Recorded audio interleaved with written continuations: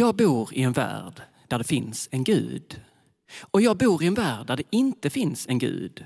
Och det är samma värld, exakt samma värld.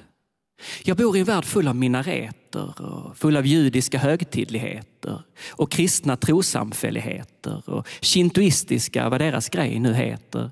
Och det är samma värld, exakt samma värld. Jag bor i en nyliberal värld med folk som tror på mammon och tillber tillväxtligheter och överflödigheter och materialiteter. Och jag bor i en värld full av fattiga asketer.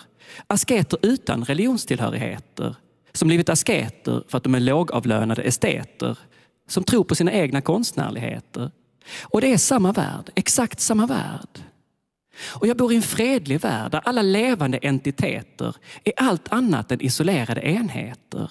Där alla personligheter och identiteter egentligen är en och samma världsande, som det då heter.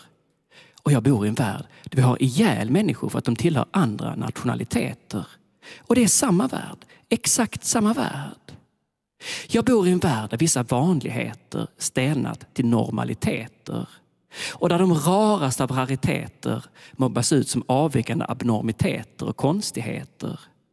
Och jag bor i en värld där vi älskar olikheter. Och det är samma värld, exakt samma värld. Jag bor i en värld där det som vissa kallar friheter för andra bara är ensamheter. Och det som vissa kallar tryggheter för andra är tristess och tråkigheter i samma värld. Jag bor i en värld där vissa teknikaliteter har gjort att vi kan nå varandra med enorma hastigheter. Och jag bor i en värld där vi glider ifrån varandra meter för meter. Jag bor i en värld där vi dras till varandra som magneter och frossar i trevliga täta-täter och slukar varandras kroppsligheter och härligheter i olika former av kärligheter.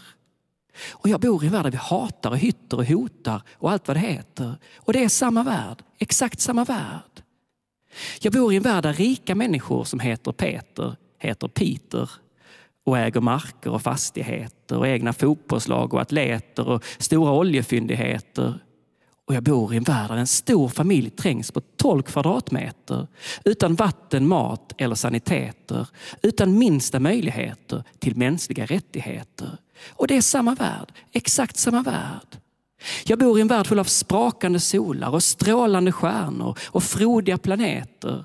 Supernovor, svarta hål och vilda kometer. Öppna hav, forsande floder och heta vulkanaktiviteter. Sagoskogar, myllrande liv, mysterier och hemligheter som fyller oss med tacksamheter och ödmjukheter och visioner om hållbarheter.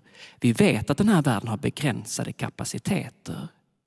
Ändå bor jag i en värld där vi varje minut skövlar och plundrar och bränner flera kvadratkilometer av samma värld. Jag bor i en värld och när det regnar då är det himlen gråter, det heter. Och när det pissar ner då är det någon som tömmer Guds kateter.